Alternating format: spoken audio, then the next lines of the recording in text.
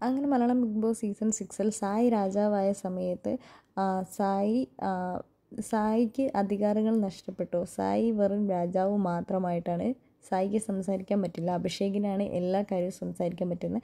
അങ്ങനെ സായിനെ കൊണ്ട് ജയിലിൽ ഇടുകയാണ് ചെയ്യുന്നത്. നമ്മുടെ അഭിഷേകമൊക്കെയാണ് ചെയ്യുന്നത്. അപ്പോൾ സായിക്ക് കൂട്ടായിട്ട് ഒരാളെയും കൂടെ ജയിലിലേക്ക് രാജാവാണെങ്കിൽ രാജ്ഞിയും കൂടെ വേണമെന്ന് പറഞ്ഞിട്ട് ഋഷിയാണത് പറയുന്നത്.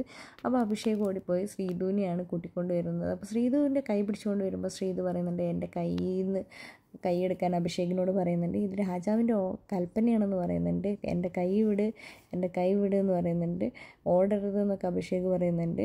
അങ്ങനെ ശ്രീധു പറയുന്നുണ്ട് ആരും എന്നെ ടച്ച് ചെയ്യാൻ പാടില്ല എന്റെ കൈ എടുത്തേന്ന് പറഞ്ഞിട്ട്. സെയ്തു അവരോടൊക്കെ ഇങ്ങനെ ദേഷ്യപ്പെട്ട് സംസാരിക്കുന്നുണ്ട്. അതിനുശേഷം നമ്മുടെ മുടിയൻ മുടിയന്റെ ജാക്കറ്റ് ഊരിയിട്ട് ശ്രീധുവിന്റെ ബാക്കിൽ നിന്ന് ഇങ്ങനെ പൊന്തിക്കൊണ്ട് പോകുന്നുണ്ട്. അങ്ങനെ ശ്രീധുവിനെ ജയിലിൽ കൊണ്ടാക്കുകയാണ് ചെയ്യുന്നത്.